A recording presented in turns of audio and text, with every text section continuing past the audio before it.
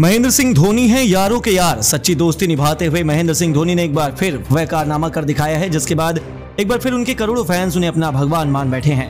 तो आखिर कैसे धोनी की एक तस्वीर ने पूरे भारतीय क्रिकेट जगत को उलट पलट कर रख दिया? कैसे लंबे समय बाद धोनी ने केवल अपनी एक वायरल तस्वीर से जमकर सुर्खियाँ अपने नाम कर ली हैं? ऐसा क्या किया उन्होंने अपने दोस्त के लिए?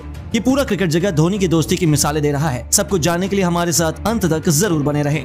जहाँ एक तरफ़ टेस्ट क्रिकेट का खुमार छाया हुआ है इंडिया इंग्लैंड सफ़ेद जर्सी में दो दो हाथ कर रही है। वहीं दूसरी तरफ़ भारत के महानतम कप्तान महेंद्र सिंह धोनी ने एक बार फिर अपनी एक वायरल तस्वीर से पूरी महफिल अपने नाम कर ली है।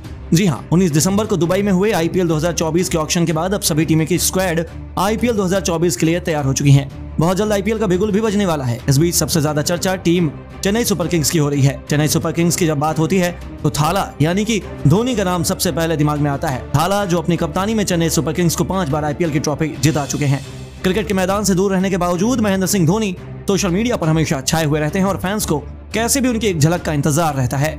आखिर वो भी क्यों ना? भारतीय क्रिकेट टीम के पूर्व कप्तान महेंद्र सिंह धोनी किसी स्टार से कम नहीं है, लेकिन उनको यहाँ तक पहुँचाने में उनके बचपन के दोस्तों का भी बेहद आम योगदान रहा है। उन्हें Mahendra Singh Dhoni untold story film में भी दिखाया गया है। समय समय पर धोनी भी अपनी दोस्ती साबित करते रहते हैं, शायद इसलिए उन्हें यारों का यार भी कहते हैं। और अब उन्होंने एक और ऐसा काम किया, जिसके बाद हर तरफ़ उनकी दोस्ती की चर्चा हो रही है। ऐसे में आईपीएल 2024 की सुखबुगाहट के साथ ही सोशल मीडिया पर एक तस्वीर फैंस के बीच सुर्खियाँ बटो रही है। दरअसल आपको बता दें 2004-5 में पहली बार धोनी ने जब इंटरनेशनल क्रिकेट में कदम रखा और वह अपने लंबे बालों के लिए लोकप्रिय हो गए।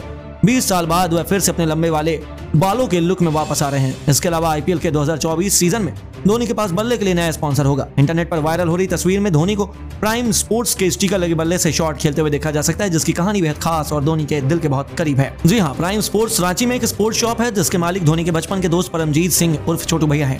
क्रिकेट में अपने शुरुआती दिनों के दौरान परमजीत ने धोनी को उनके बल्ले के लिए पहला स्पॉन्सर दिलाने में बड़ी भूमिका निभाई थी।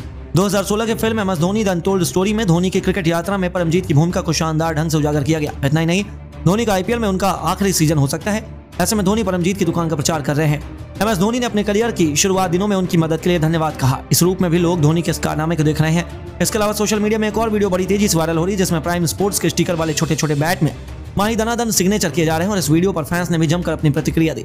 वीडियो वायरल होने के बाद महेंद्र सिंह धोनी के फैंस भी जमकर अपनी प्रतिक्रिया दे रहे हैं और किसी ने लिखा, इसे कहते हैं दोस्ती निभाना। आज स्टार होने के बाद भी धोनी ने अपने बचपन की दोस्ती को कायम रखा तो किसी अन्य फ़ैन ने लिखा, इसलिए तो धोनी को यारों का यार कहा जाता है।